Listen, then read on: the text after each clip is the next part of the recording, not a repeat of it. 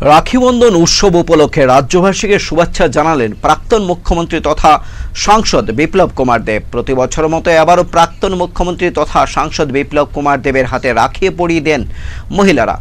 আয়োজন করা হয় মিষ্টি মুখেরও বুধবার রাজ্য অতিথিশালায় এই রাখিবন্ধন উৎসব আয়োজিত হয়। এক সাক্ষাৎকারে সাংসদ বিপ্লব কুমার দেব বলেন, মহিলারা স্বনির্ভর হলে রাজ্যের জন্য, সমাজের জন্য এবং আগামী প্রজন্মের জন্য মঙ্গলজনক। পাশাপাশি এদিন তিনি বলেন, রাখিবন্ধন উৎসবে গ্যাসের দাম কমিয়ে প্রধানমন্ত্রী নরেন্দ্র মোদীর বার্তা দিলেন দেশের সকল মহিলাদের পাশে রয়েছেন তিনি।